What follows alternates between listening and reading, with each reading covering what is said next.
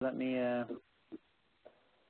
okay, well, good evening, everyone. Uh, welcome to the Thursday night edition. We're uh, nine days or so away from the uh, exam, and hopefully everybody is really diving into these materials.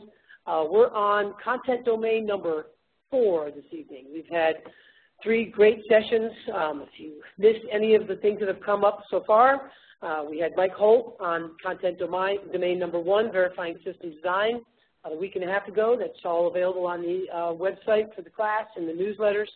We had uh, Jeff Gilbert from the IEC in Chesapeake covering uh, content domain number two, project management. We had a great session on Monday with Janet Hughes of Ontility, and um, she covered installing the electrical components.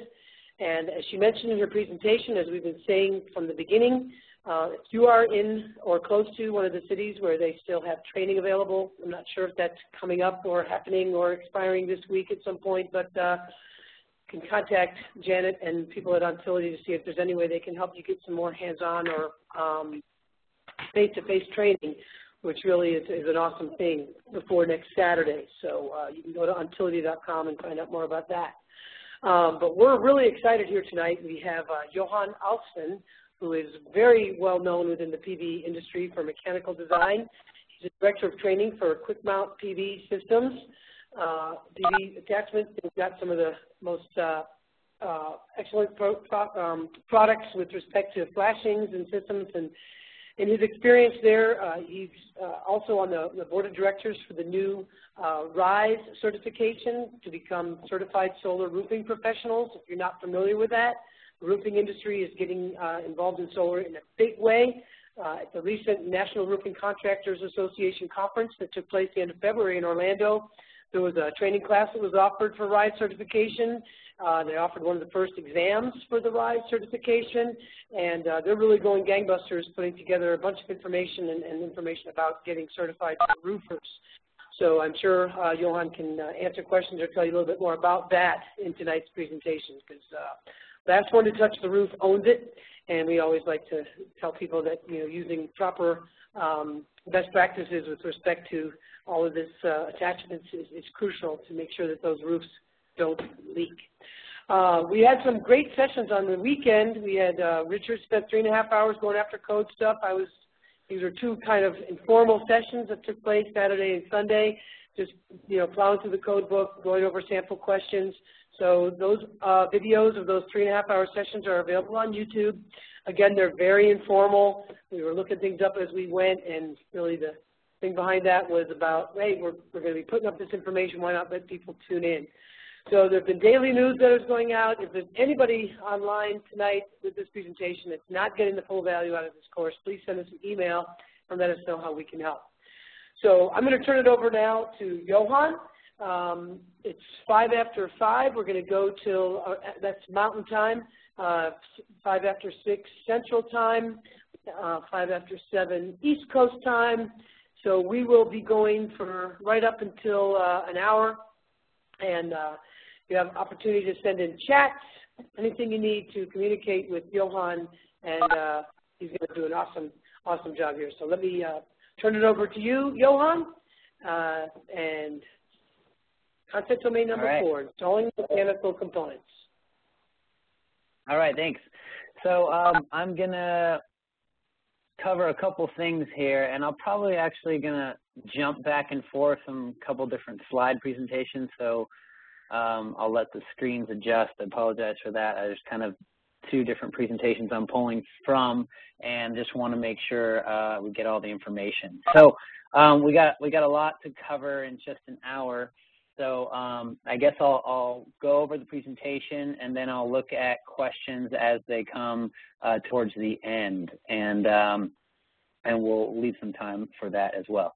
So um, just moving along, we're going to talk about solar roofing best practices and um, what that entails. And um, just to, I guess, to give you a background on myself, just quickly, um, I basically started out as a solar installer for a company here in the San Francisco Bay Area uh, started doing uh, installs with the folks who actually um, own Quick Mount PV currently, and I've been working for them ever since. They spawned off and started, as an installer, started doing their own uh, solar mounting systems.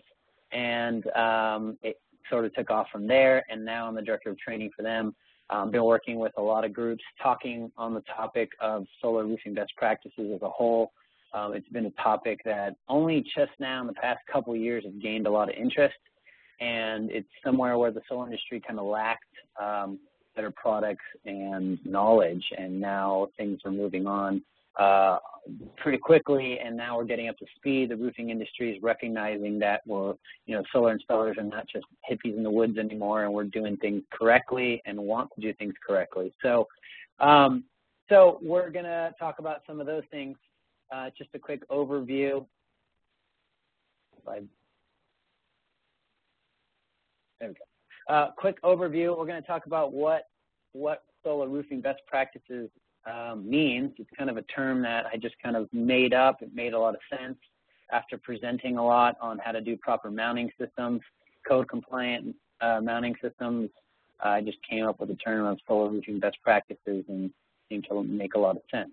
Uh, we'll talk about what codes and um, what is code for solar mounting systems, some of the mistakes made in the past, uh, how to maintain roof warranties and avoid liability, um, working with roofers, uh, when when is a good time to call in a roofer and not just try to learn learn the system on the roof as you go. Uh, we'll talk about some innovations in solar uh, as far as racking and uh, selling quality systems. I know everyone's trying to get the cost down uh, and also design uh, things that can help cut down costs and whatnot. So moving along, um, slide's not advancing. I think there's a little bit of a delay, so I'll just okay. So one of the biggest things is we've had a lot of problems in the industry uh, where there's been this huge disconnect between the solar industry and the roofing industry. Um, and many, I don't know if there's any roofers on board or roofers slash solar installers, and you may know that, you know, a lot of the roofing industry doesn't like solar in the sense that solar installers are getting up there, taking their jobs and doing it uh, in the fashion of voiding roof warranties. That's kind of the old mentality, and now things have changed. Um, but there is still some disconnect between the solar industry and the roofing industry. I'd say that the industry, the roofing and solar industry, the bond between them two, the relationship has has never been stronger than it is now. And uh, part part of that is because of these training sessions like we're hosting right now, um, education. Um, in the past, the biggest one of the biggest problems uh, is no regulation. Uh, in the building departments, you know, there's different requirements in every jurisdiction. They have their own set of requirements. They traditionally go by the International Building Code, uh, but things like flashing and waterproofing uh, haven't been something that has has been a huge concern. So we'll talk a lot about waterproofing in this and, and also mechanically attaching. So um, building departments for in some cities, I mean California is all up to speed now, I would say, but there's still some areas in other states and other cities where there are um, there are quite a bit of building departments that don't mandate things like waterproof flashing. So this is a big deal, and this is where we we get into some trouble on the roof, and we can have callbacks and roof leaks and things like that. Um, there's also the, you know, that there's some outdated technology. I've seen some kits go out that don't have proper waterproofing and mounting systems. Uh, the cost and competition aspect, a lot of people are trying to you know, competition is fierce out there. We know how that is. I know being on an installation team myself in California, where there's hundreds of them, um, it's it's always hard to be that that preferred contractor. So folks are trying to cut costs and cut corners, and a lot of times they cut corners on by buying cheaper products and products that or doing designs that don't necessarily pan out to be the best quality. So we're all, I'm all for uh, lowering the cost of products and installation, but uh, maintaining high quality. So uh, training is a big deal. We have to make sure that proper training is, is done well and done to a high quality standard. Um, and the solar industry is, is, new, so a lot of folks are coming into this industry, um, you know, wanting to make a buck and uh, I, I, think it's important to know who the manufacturers are who are the credible training organizations that, that are offering good training. Some of the instructors that have already presented to you already, I've already worked with, a lot of great people. So, um, so the industry is growing up basically, and so the liability issues with voided roof warranties is a big deal, and that's what we want to talk about mostly. Um, one of the number one issues is uh, roof penetrations that one of the number one issue that doesn't get a lot of um, a lot of highlight is roof penetration. I don't know if you guys remember this picture, if you've seen it, if you're a solar junkie and read the magazines like I do. Um, this was on a cover of a magazine in 2010. This picture with two guys on the roof, and it was quite a bit of a it was kind of an embarrassing thing for the solar industry because um, there there's a lot of things wrong with this picture, and I'm sure you can pick them apart without me spelling it out. But one, number one, they don't have any fall protection whatsoever.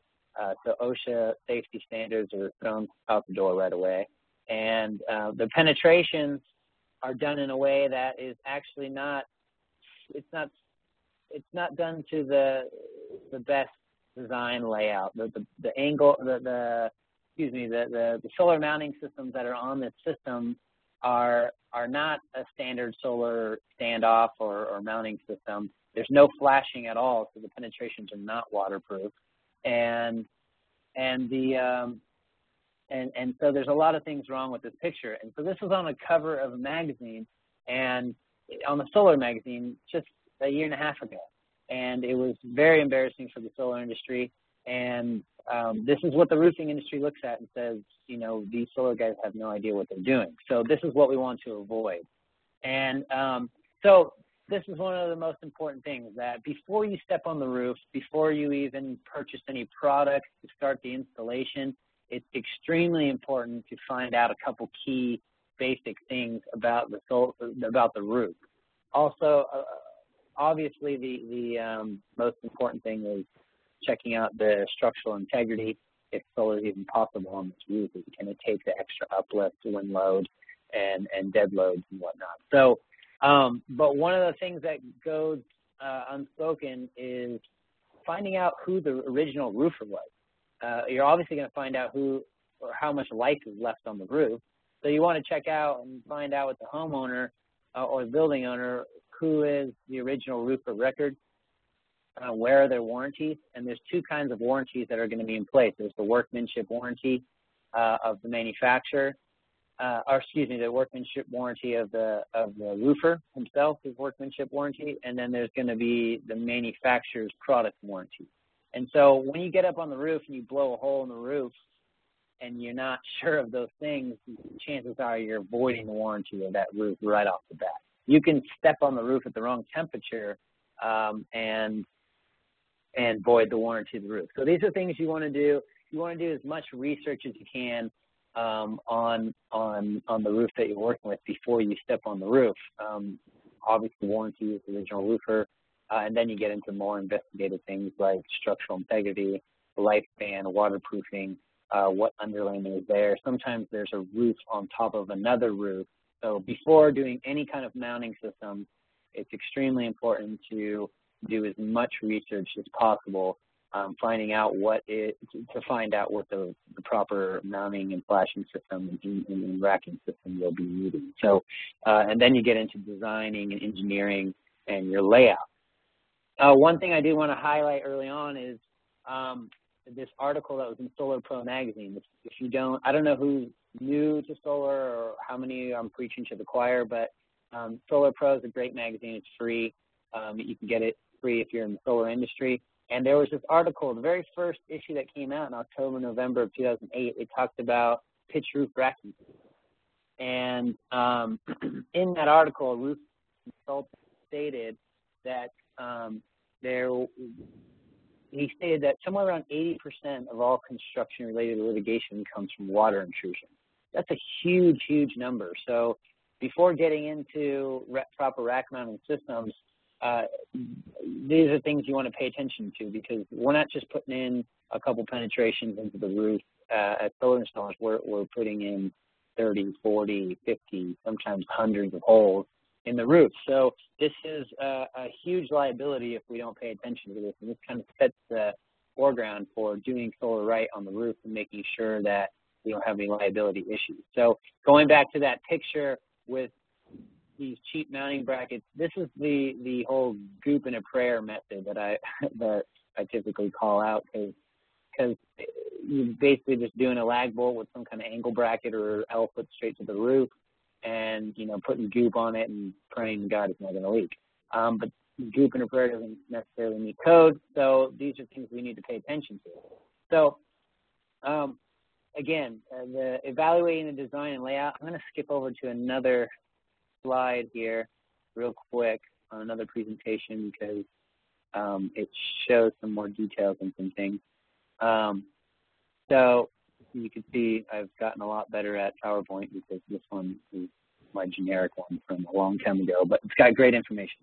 So I wanted to talk about some of these some of these things. So we always say you got to think like a roofer and you got to act like a roofer. At some point in time, there's going to be a, a, a point on the project where you might not know the system or the roof, and you might have to call a roofer and get a roofer out there to do it properly. That's more with commercial roofing systems. So we're going to focus on residential here.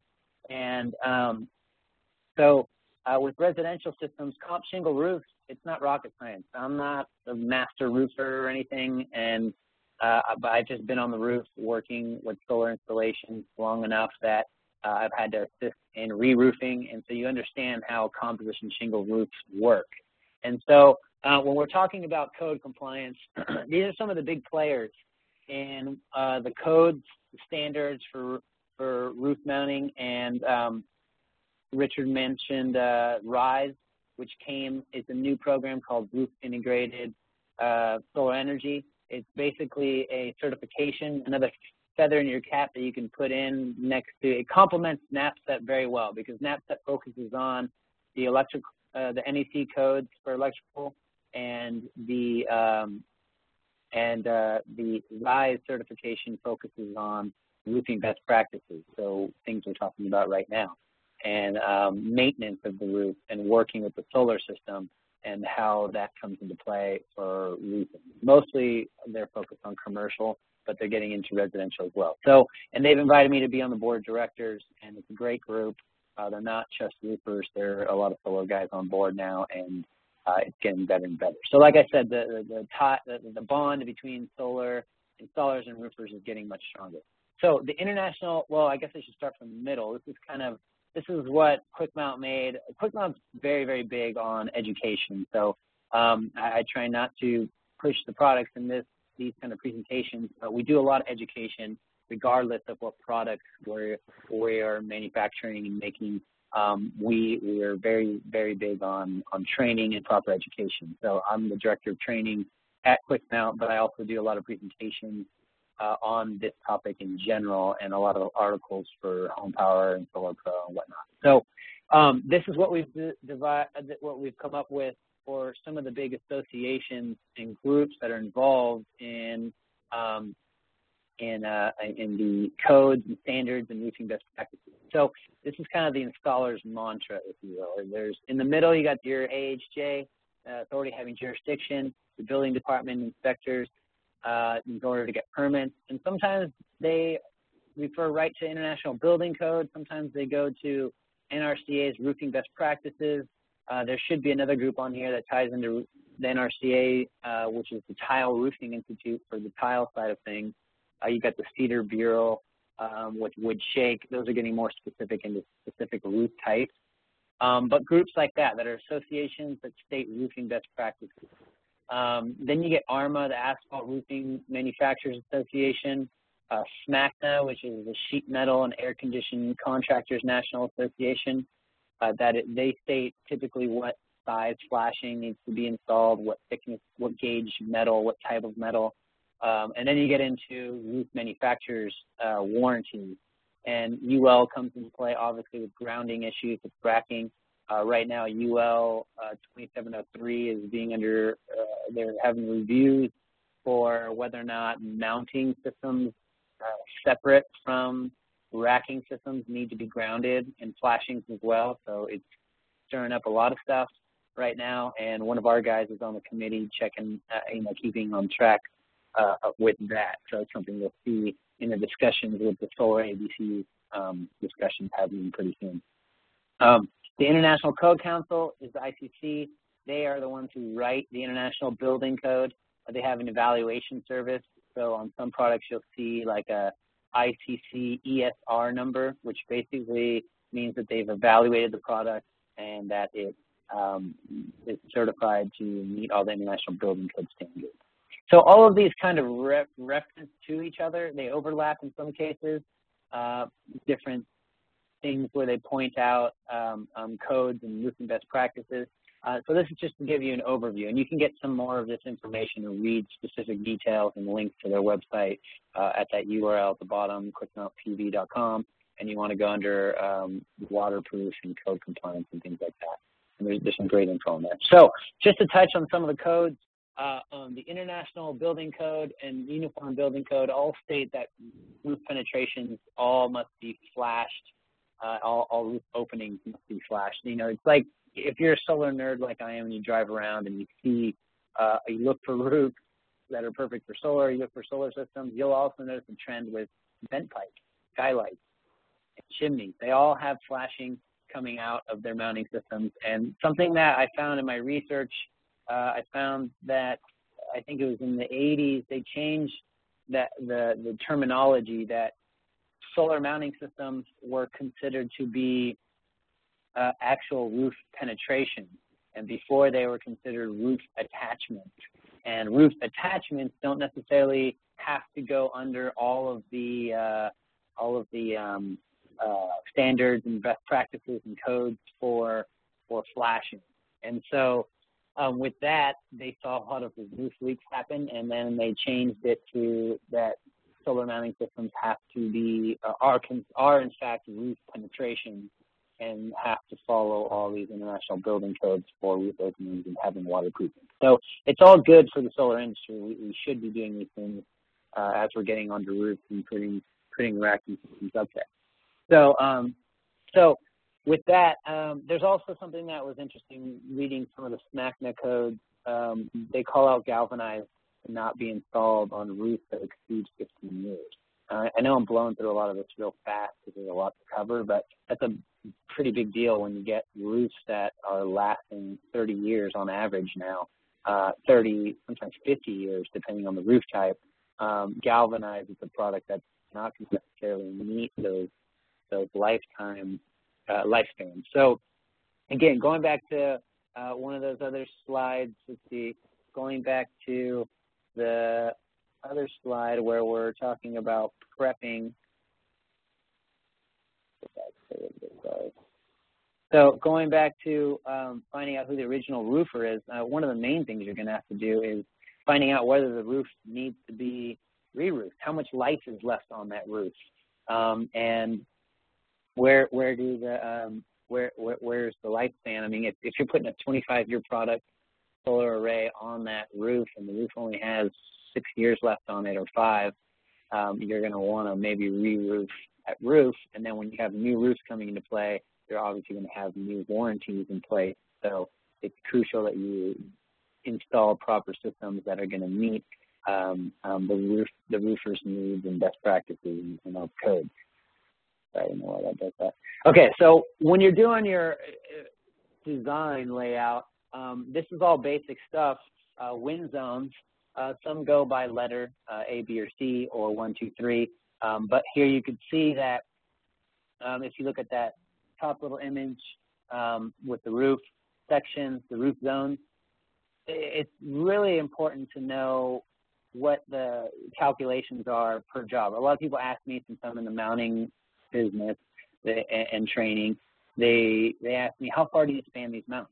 Like it's a, a just one word answer. Um, every roof is different.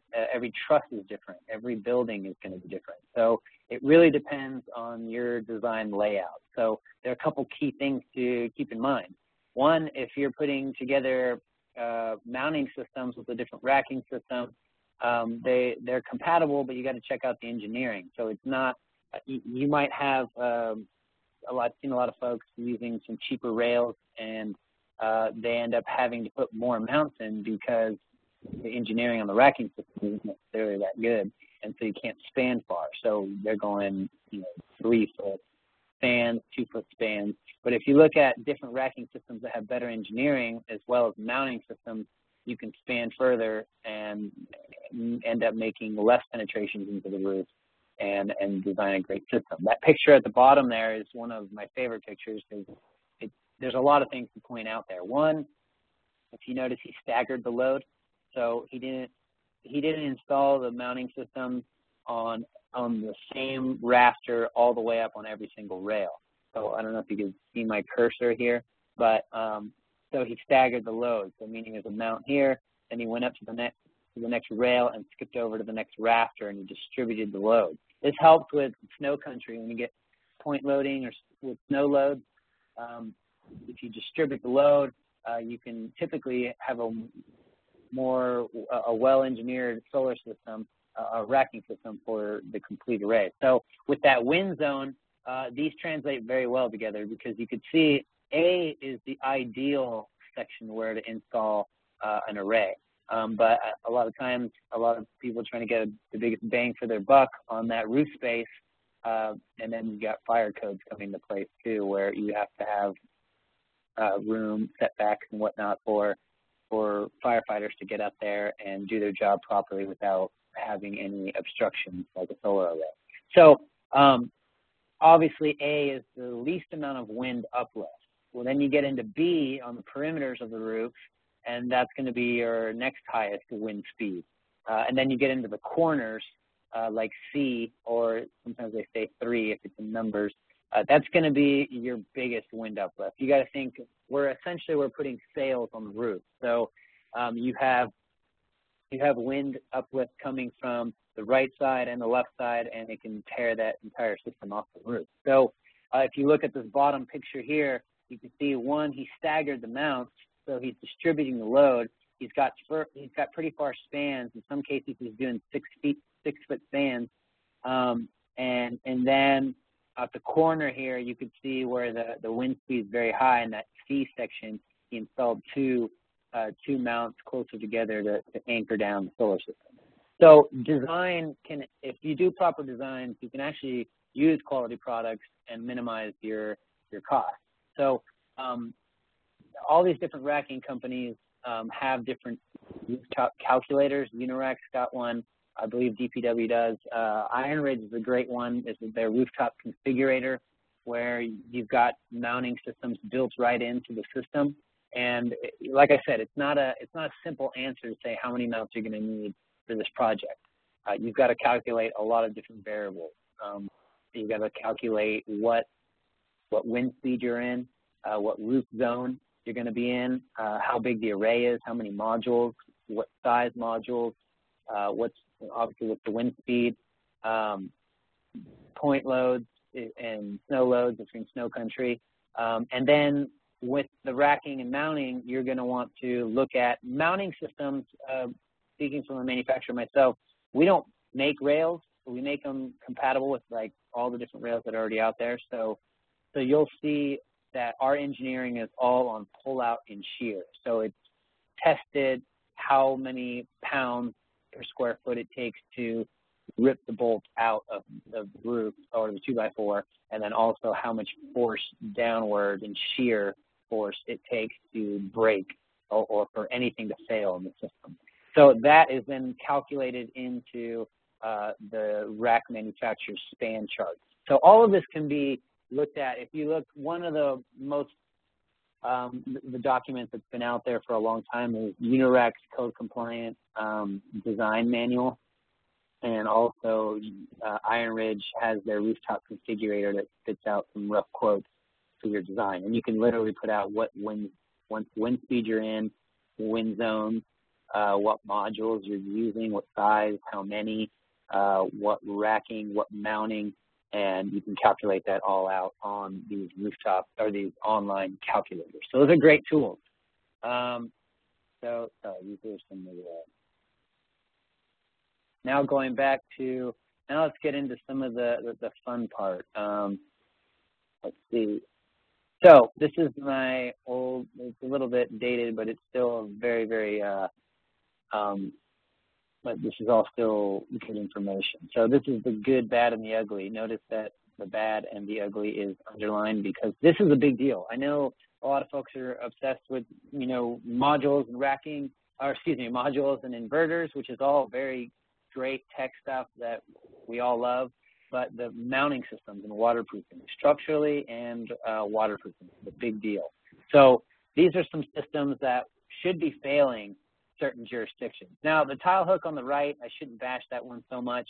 It's just that some jurisdictions don't accept it because they want they want flashing and waterproofing underneath the tile roof, um, and some cases they don't do that. So uh, I should be a little easier on tile hooks, and I'll show how how, what that is. I have some good information on tile. Um, and let me check the time so we don't, I want to leave some time for questions. So um, the old L foot to the roof and these, you know, brackets straight to the roof. When you have an exposed bolt like that, it doesn't it doesn't meet code. The, the national the, the NRCA, the National Roofers Contractors Association, they call this out specifically and state that they don't want to see exposed fasteners no matter what sealant you have, they don't want to see exposed fasteners directly to the roof like this. They want the penetration elevated and flashed properly. So, and I say properly because you can see that system on in the middle, that OD flashing. OD flashings are not a terrible solution. I've used them a million times, um, but they they their lifespan isn't always the greatest, um, depending on the type you're using and how long the roof has left. Um, but you can clearly see that that's an install error. Um, they've cut half the shingle, or excuse me, the flashing. They've cut side of it off to fit into that dormer or whatever's going on there.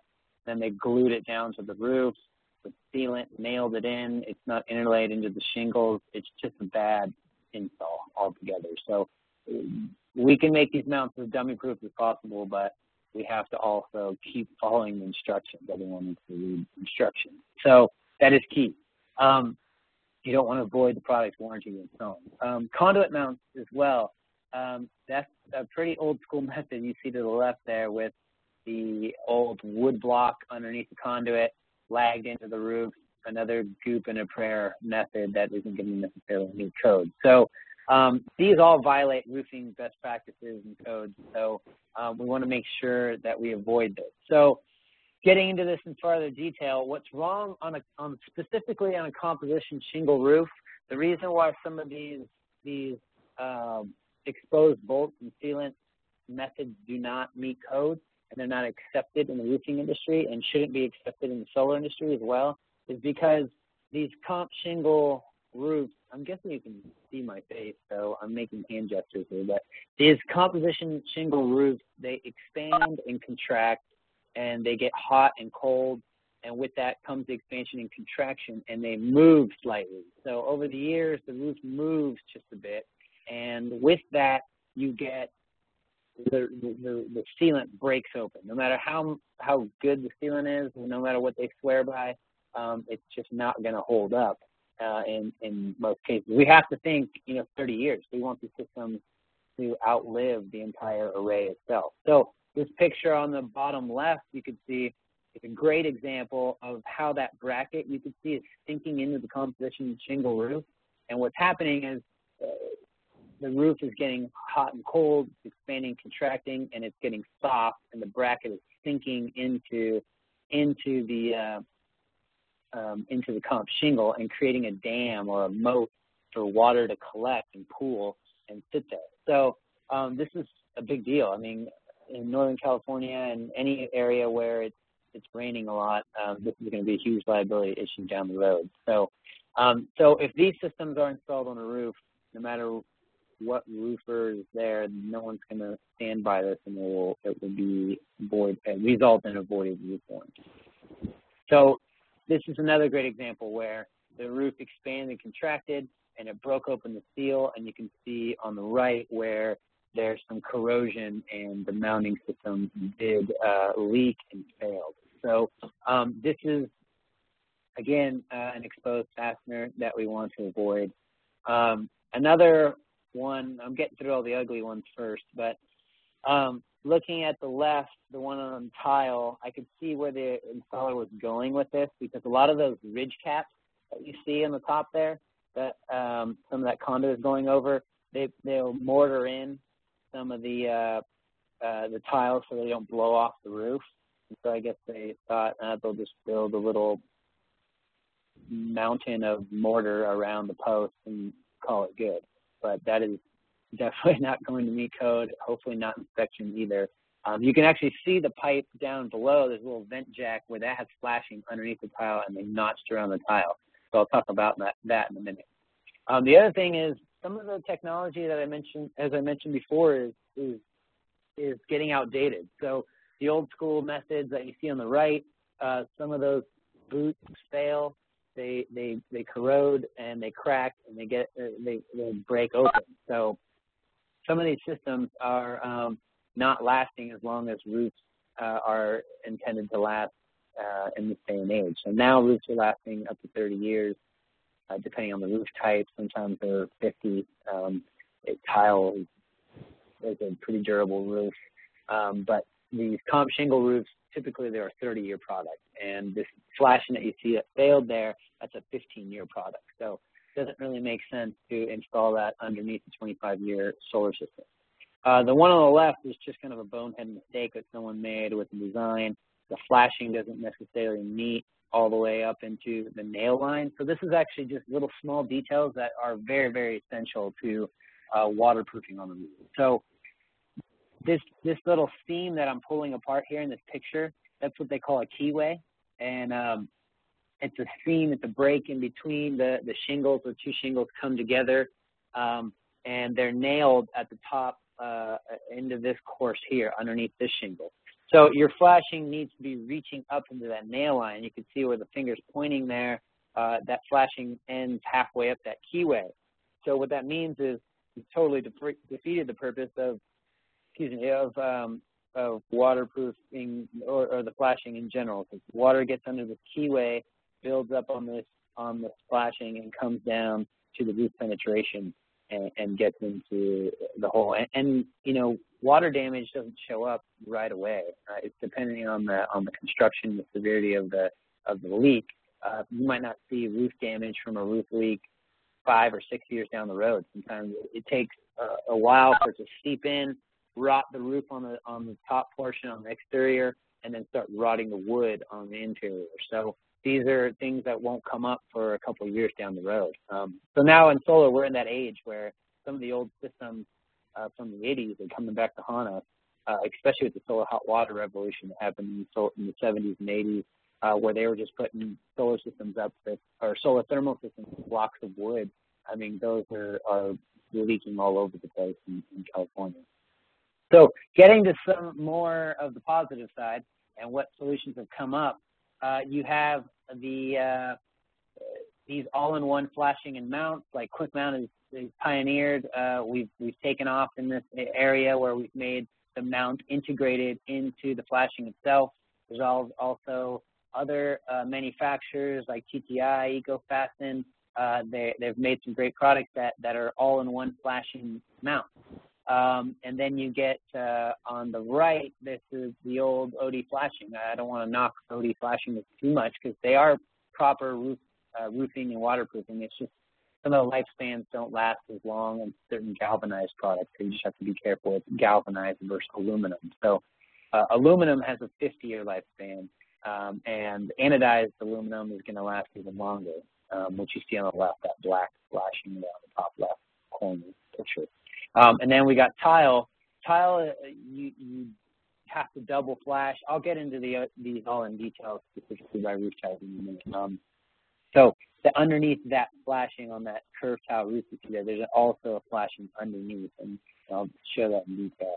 And then conduit mounts, there are some conduit mounts that are flashed options so that you can, it shouldn't be an option really, it's, it's flashing that comes with the, with the conduit mount that, that waterproofs the, the conduit, um, raising the conduit off the system. So getting into composition roofs. This is one of the more popular roofing systems out there for residential systems, uh, composition or asphalt shingle roof. So there's different methods. uh, this, now the old style, which is still very popular today, is the the old standoff post and flashing. You have a post, you can use an OD flashing, or Quick Mount has uh, flashing as well, standoff post and flashing like this you see here. Um, so I'll get into that in the details uh, in the next slide. And then you also have the all-in-one flashing mount, which is a newer system that's come into play since the early 2000s. And when I say all-in-one flashing and mount, it's just like it sounds. The, the mounting system is incorporated into the waterproof flashing. So everyone has a different style of waterproofing here uh, um, at the penetration. So it, it, in some cases, it means you don't have to cut the roof shingles anymore, and you can you can mount in the middle of the course, and the flashing does the waterproofing, and your product here, the mount does the waterproofing all in one. So they're great for retrofits because you can slide them in, bolt them down, attach your racking system, and you're set to go. Um, with the, the standoff post and flashings, I would tend to lean towards new roof construction. Uh, it doesn't have to be new construction, but a lot of times, like in Colorado, they're doing a lot of new roofs because of hail damage, and which means they're very uh, reliant on their warranty because there's a lot of hail damage that happens on comp shingle roofs out there, and their warranties cover that. So tearing down the roof, putting down the standoff post um, will we'll go over that. Oh, I guess I have these backwards. So let's talk about the all-in-one flashing and, and mount first. So these ones, this is just a little drawing of the product you see right here on the right. So this is an all-in-one flashing and mount. So the most important thing that you see here is that the flashing is getting interlaid into the shingles, meaning it's on top of one shingle course and under the next shingle course to get up into the nail line. And then the waterproofing is done inside of this block. So the way we do it at Quick Mount is we have this aluminum collar that's attached to the flashing and water can't get in because it's all welded, it's all one piece. And then the, the, the penetration is elevated and then you have the uh, hardware for attaching the rack system like you see uh, here.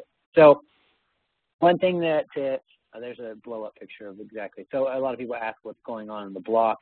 For this product, it's a, it's a welded flute channel here. So this flashing is all one piece. You have the EPDM. EPDM is a really high heat resistant rubber. So you have this gasket that comes down, caps off this collar. You have another EPDM donut, caps off the block, and then you have your racking on top.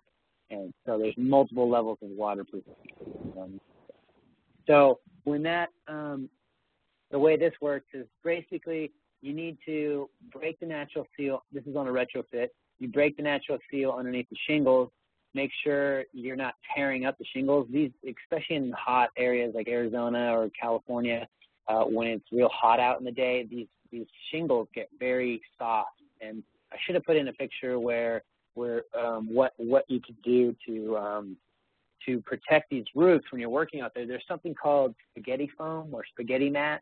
It's just a generic term, but if you go to uh, if you go to Home Depot or Lowe's and you you ask for a spaghetti mat, it basically looks like yellow spaghetti or orange spaghetti just glued together, and it's a mat you can roll out, and it's kind of rubbery.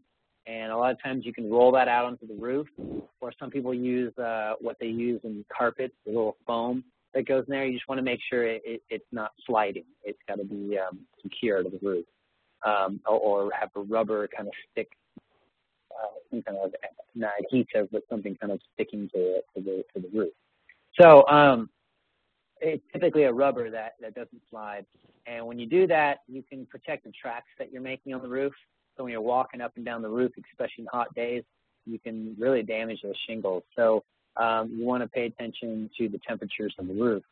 So with that in mind, you are also you're also um, wanting to um, when you get up there, a roofing bar, the roofing bars that have the, the sharp tips, uh, they're, they're, called shingle rippers. Great tools. They're bigger and they have a little slight bow to them and a raised handle so you can get it underneath the shingles.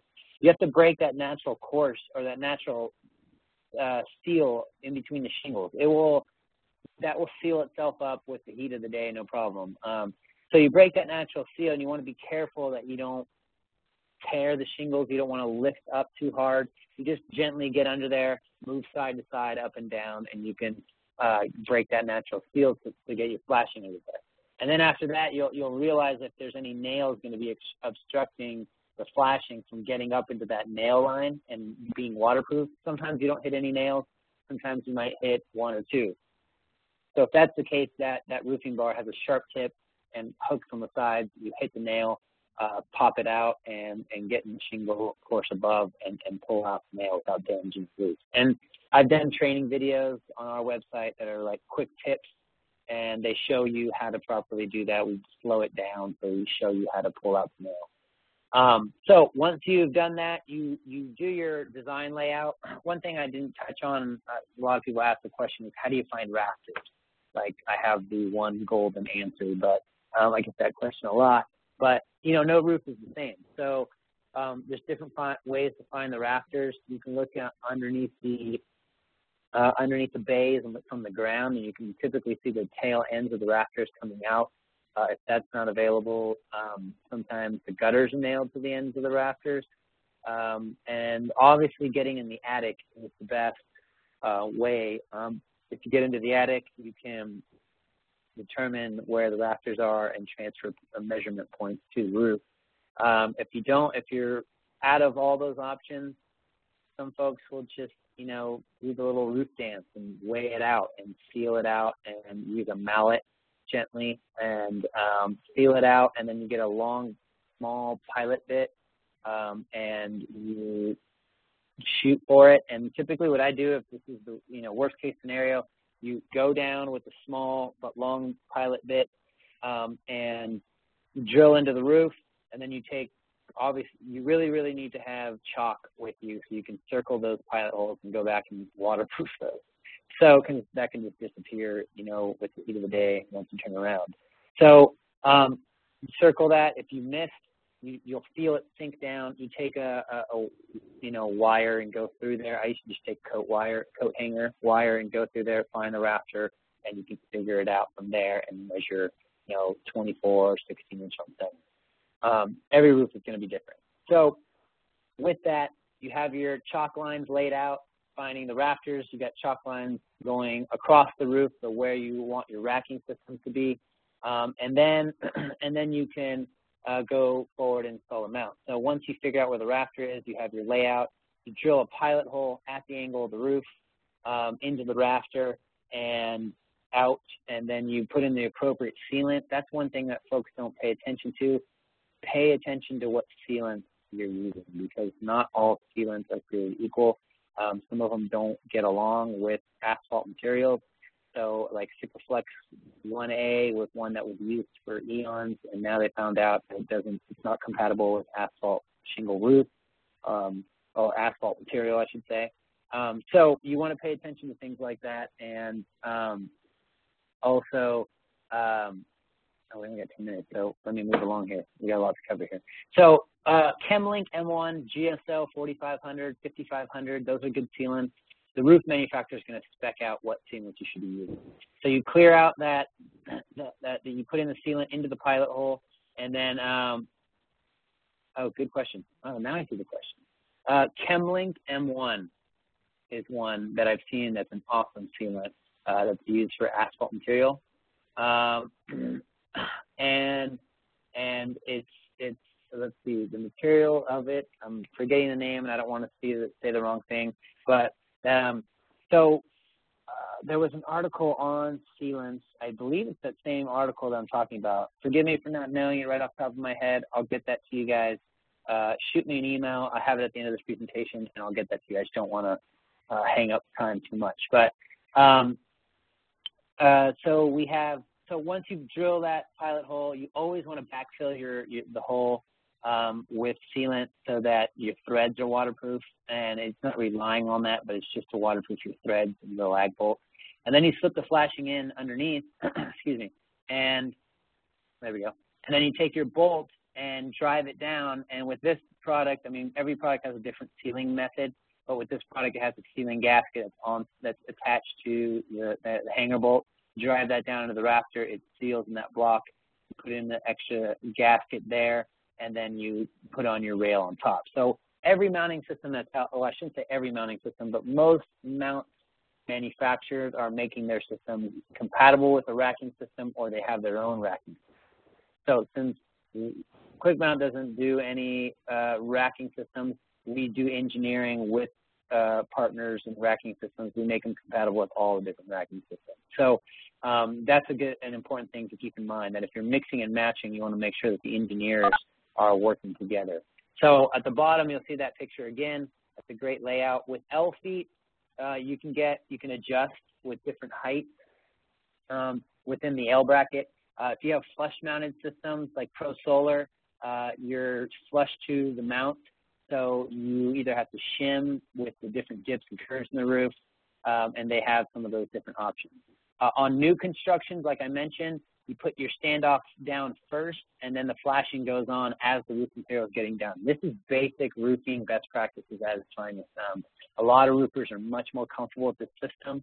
It's a great, it's a win-win for the solar installer and the roofing, uh, excuse me, the the roofer, because you're putting down the standoff, uh, you're you're you're putting the standoffs where you want them. You make sure that they're in with your design layout, um, and then you have the roofer take all the responsibility for waterproofing, and he'll roof around the mounts, and then he'll add the flashing as he goes, and then waterproof it um, with with collars and, and flashings um, that's specced out by either him or you as a solar installer. So um, this is a, a, really great method to keep the waterproofing under his warranty and not worry about that if you don't want that uh, liability. And it also allows you to work with roofers uh, hand in hand. So this this is very standard. This is what they're doing for vent pipes and skylights and, and whatnot. The same practice where they're just roofing around it and then they're flashing as they go. Um, wood shake roofs, I won't get into too much, but if you look at that picture there on the left, the way some of these wood shake roofs are done, um, they have interlays of felt paper and and courses of shake, and so they interlap, they overlap each other in there, and so they're interlaid into each other. And so what you want to do is you want to get a bigger 18 by 18 flashing that slips under the wood shake and underneath the felt paper and works with the natural waterproofing system of the roof. And and typically you're going three inches of embedment into the rafter uh, to get you know, a, a pretty standard pull-out string. Tile. So I know we're running out a little bit out of time, but tile is a, a pretty important one um, because we got five minutes. I do want to leave questions. Tile, like I said, this is I mean, an hour's never too much. I can talk about this forever. So tile, I really want to get into. I did write an article on tile roof systems uh, in Solar Magazine. I can't tell you off the top of my head what article it was in, or sorry, what issue it was but it uh, is on our website if you want to dig it up, um, or you can just email me and I could send it to you. But I talked about tile roofing systems um, in general and and what's uh, involved in tile mounting. Because a lot of guys, especially in Northern California, they're scared of tile because tiles, you know, it's 50-50 comp in tile here, but Southern California and Arizona, it's just nothing but tile country out there.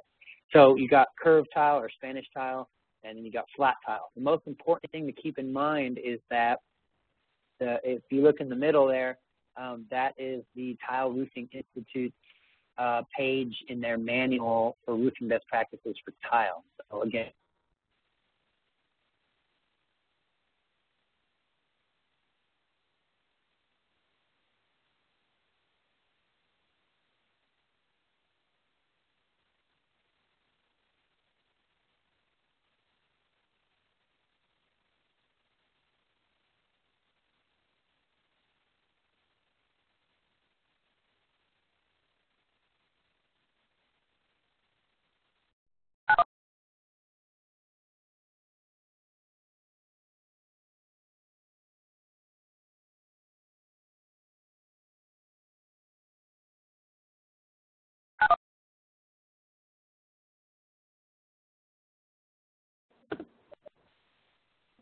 Can you hear me? Can you hear me? Um, His audio needs to call back in. okay. Okay, I can recap.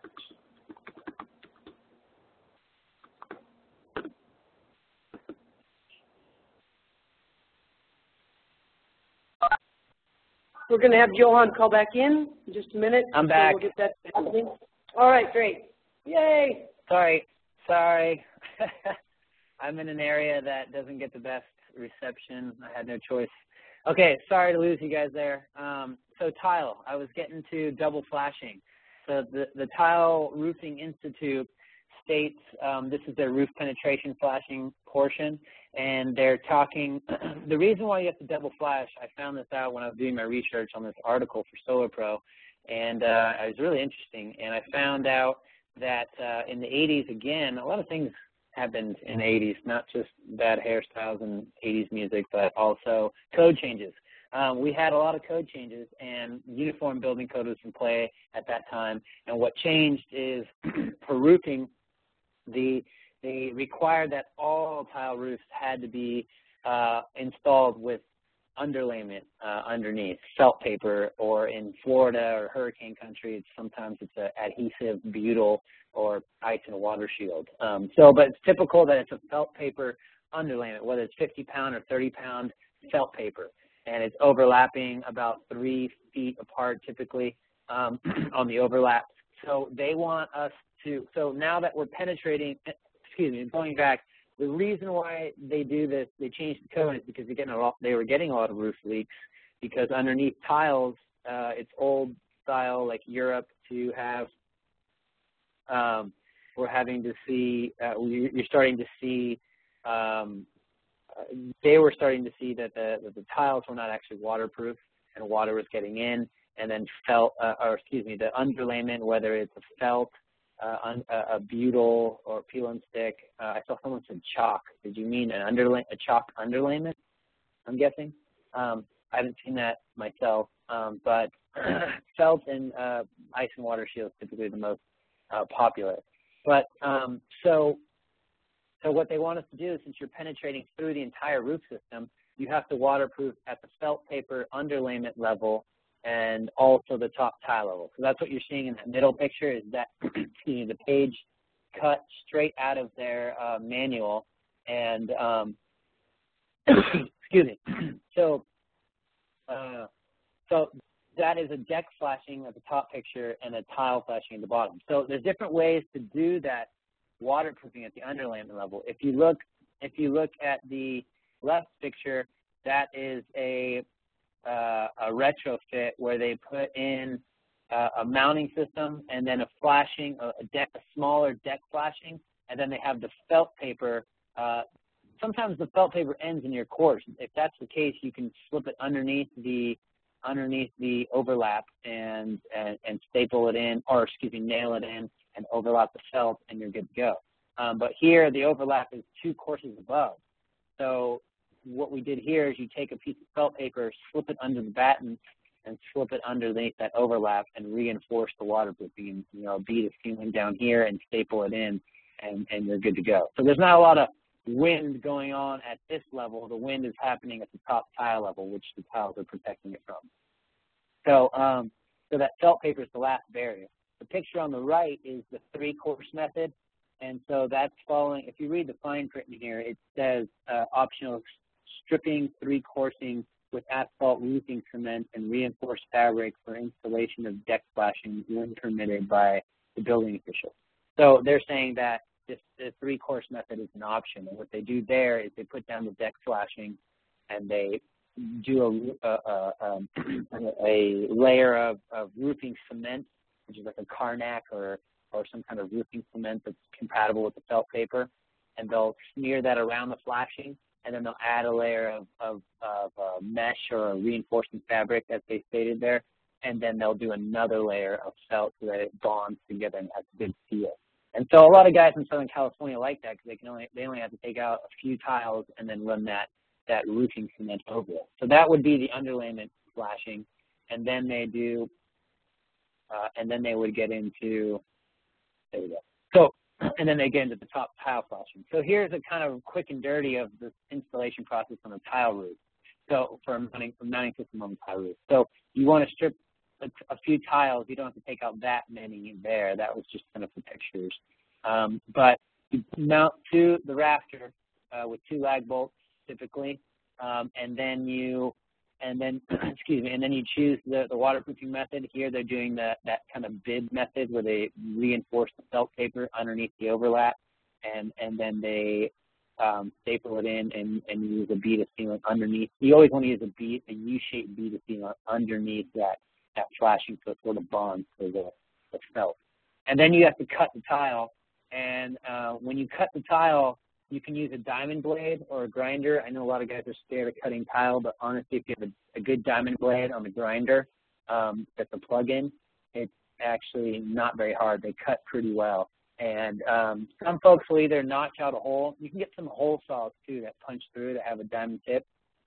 Um, or some some roofers I've seen like to cut from the bottom edge up. I'm assuming you can see my cursor that I'm moving around, but um, they cut from the bottom edge and up and around around the mounting, and then they'll tuck the flashing underneath the uh, the the tiles. So that's a method I've seen done by roofers, just to tuck it underneath the tiles and kind of keep it more a little a little more aesthetically pleasing. Okay, cool. Um, I saw that message. Thanks, Richard. Um, so this is what it's going to look like in the end. Um, you can see you can see the, the flashing at the top um, you can't see the flashing of the, the, the deck flashing, but these are all waterproof underneath the underneath the tile. So again, here is a great example of how uh, they sort of staggered the mounting systems as they went where they could. Uh, depending on the layout, sometimes you have to go around vent jacks and, and, and vent pipes and chimneys. So uh, in this case, they were able to stack and stagger in certain areas. In some cases, you can't. It's not a terrible thing, um, but to go up the same rafter, but you just want to make sure you're hitting dead center into the rafter. You have the right size pilot hole so you don't split the beam, um, which is typically a 60 to 70 percent of what your your your anchoring bolt is going to be. So if you're using a, a 5 16th bolt, which is pretty standard, um, oh, nice, Brett, thank you. 75 percent to be corrected. Uh, about that's right, 75 percent um, of the of the bolts so if you're using a 5 16 uh, we've called out either quarter inch, which is a little, a little on the heavier side, um, or if you've got tough wood, you can do a quarter inch, or a um, 730 seconds to be a little bit more exact um, on a 516. So, um, and, and, all of this is kind of is, is more going back to um, you know the Wood Council. I don't know if you have that handbook of the Wood Council um, uh, I, my questions that get brought up here only come for a split second. I want to try to get through all these questions. Um, well, let me get to that too at the end. Um, there are a couple other roof types that I wanted to just briefly touch base on because I know there's a lot of metal out there that you guys are dealing with. Uh, we I don't see a lot of metal roofs out here in California, but I help a lot of guys uh, get uh, familiar with it. So um, there's a lot of companies you know, S5 has been a huge help in that industry. Yeah, that that has um, great mounting systems that are non-penetrating. The one thing I do want to say about this is I I think these are fantastic products where you on a standing seam roof where you're clamping onto the standing seam, you're avoiding penetration. So the waterproofing is not an issue, which is great, and you can avoid penetration uh, and waterproof issues. That is great. Um, but one thing I've seen, like the city of Portland do, that is very, very uh, essential to these designs is that, again, we're putting basically a big sail on the roof. So we, the pull-out strength of that system is governed by the pull-out strength and relying on the pull-out strength of that actual roof. So a lot of folks, um, a lot of folks um, who are doing metal roofs uh, have to get extra engineering or, or further engineering to determine if the roof, the roof pull-out strength itself can take that extra uplift that's happening on the system. So great products, but you just have to check the engineering. Uh, in Portland, they require a lot of engineering to be thorough. I just saw somebody state that at the, on the East Coast, I think it's 1 in 20 roofs are metal. Uh, same thing in, in the Midwest, a lot of metal roofs. And a lot of snow country, in the Colorado, um, there are a lot of metal roofs. Another option for anchoring into a metal roof, like a like a corrugated, not a, not a standing seam, but a corrugated roof. I've seen these bolts that are made. Um, a lot of different manufacturers make them. QuickMount doesn't make anything like this, but I've seen a couple other manufacturers um, like Schletter and and and uh, EJOT and other couple companies make these bolts where they're specialized to go. It's a big hanger bolt, and it basically goes down like you see in that black and white picture. Goes down through the metal. You have to do a pilot hole first, obviously. Um, you go down through the metal, through the wood, to the to the rafter, and you anchor down just enough to where you have this oversized rubber. Uh, it's an EPDM rubber gasket that is very very thick, and it goes down and squeezes around the bolt, and then you shim uh, you, you you shim off of the hanger bolt side, uh, or excuse me, the machine bolt side of the hanger bolt. So that's that's a common method I've seen. Uh, it's not the most glorious method. Um, the roofing industry, you know, they don't really like exposed fasteners, even on metal roofs, which is baffling to me. But some of these metal roofs are attached with exposed fasteners with gaskets. So um, depends on the jurisdiction, to be honest. They're going to spec out if they'll accept this method or not. But um, again, different options, uh, either penetrating or non-penetrating systems for metal roofs. Uh, let's see if I can get to, oh, commercial. I just wanted to talk about commercial. Okay, I saw that question pop up about silicone. Yeah, I'm trying to figure out how to pull up all the questions. Um, sorry, I'm kind of new to this system. Oh, here we go. The chat section. Little. Um, so, yeah, um, folks, I just want, Johan, um, just to break Uh-huh. in temporarily. It's, it's about eight minutes after six. We still have most of the people that signed on still online. So we have gone over in previous sessions, if the people don't mind, this is great information that you're giving. So please go ahead and answer what questions that you can. And attendees, anyone who has to jump off, um, this will be recorded and it'll be available through the newsletter on, our, on the, on, and so you can come back and look at the part that you might miss here if you have to leave. Um, but uh, we're going to go ahead and let Johan keep going if he's willing, um, because there's so much great information here. So go- ahead and uh, don't worry. Don't worry about the time. You're really helping these folks out a lot. Thanks so much. Okay. Okay, great.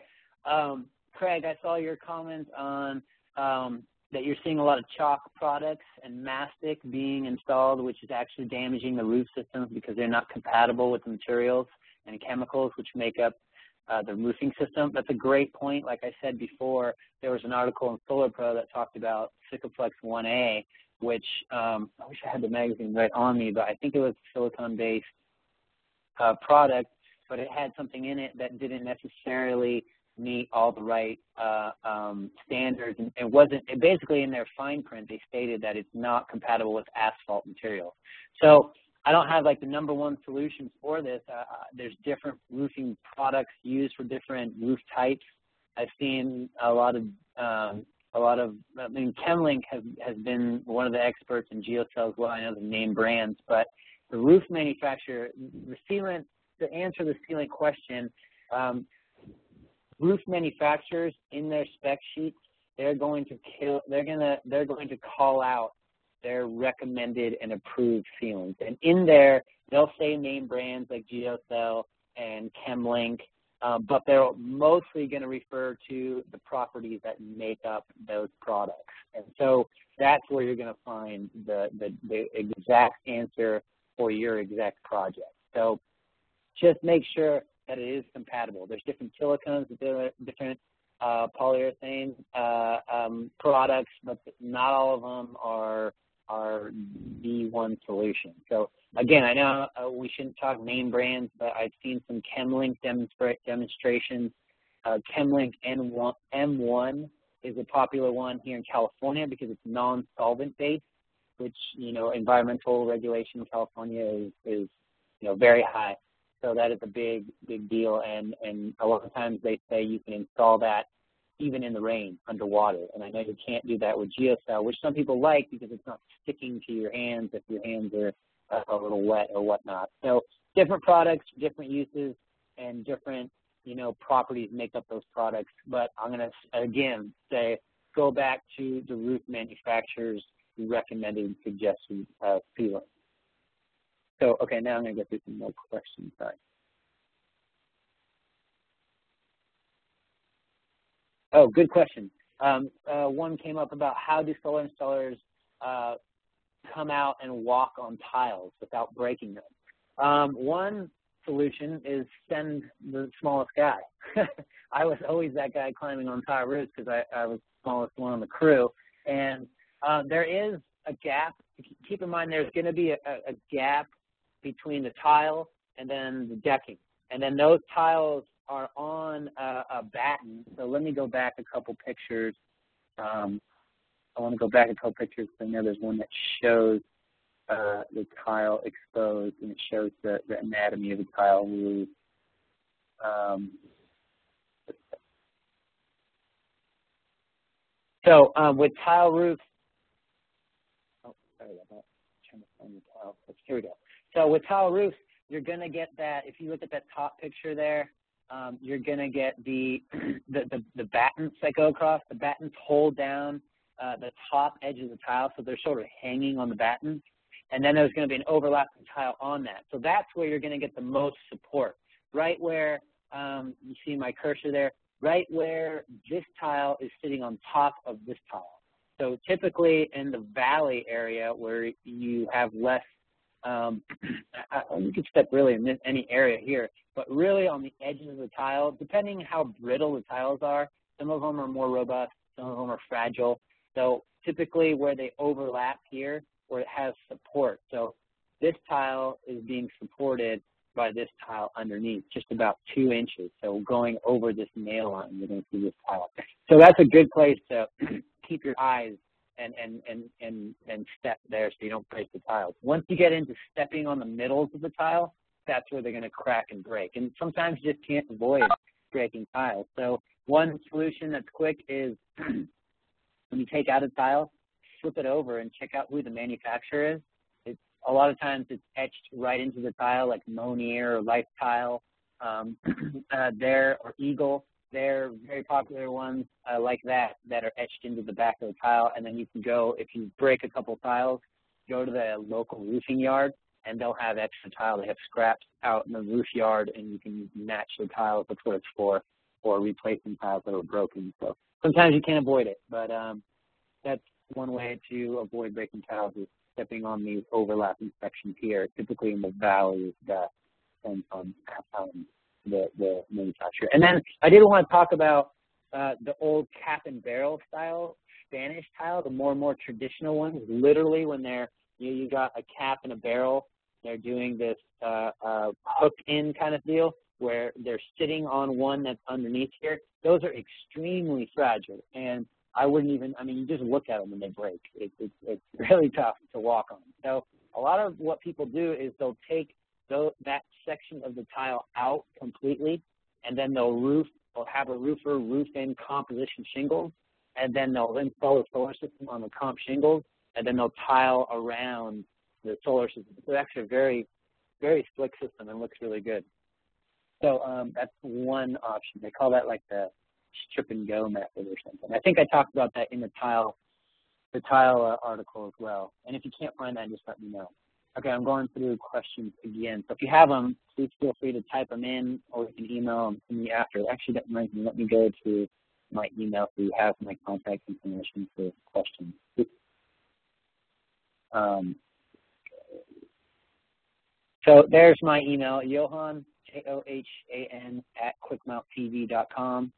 Uh, that's just my office line. Um, you can call the office or just really I'm best about email. I'm, I'm on the road a lot.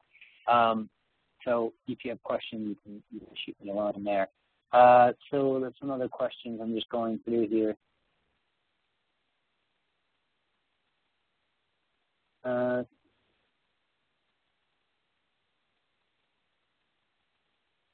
okay, I guess just comments. Oh, I guess that's it. Any other questions you guys have? I'm only seeing a couple looks like we got to them. I saw a lot of uh, a lot of questions about sealant. Um, I can't just say if silicone is going to be the uh, an adequate sealant. Uh, like again, the roof manufacturers are really going to be the the they're going to call that one. Uh, the roof manufacturers that you're working on, they're, they're GAF, Owens Corning, um, they all uh, Malarkey, they all state what um, what what sealant is best to be used on there. And if you're looking for this presentation, I don't know if I have this exact one, on the QuickMount website, but I have one that's very similar, has all the same information, minus some of the metal stuff because we don't do metal. Um, but it's on our website. Our our website's actually pretty handy just from an educational standpoint. Uh, I, I highly recommend going there and checking it out. There's a waterproof section that gets into codes and some of these big players, and then we have a calendar there for webinars and trainings and all that. And um, and I heard I heard Ontility was on some of these calls. They are great for training as well. A lot of these groups and distributors are getting well into the training, and so really happy to see that happening uh, as well. So thanks for your guys' time. Sorry I went over a little bit, and uh, let me know if you have any other questions.